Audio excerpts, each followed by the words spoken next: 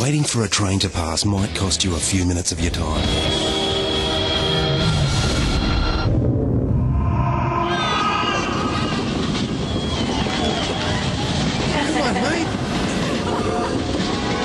But consider what you could lose if you ignore the signals and don't stop.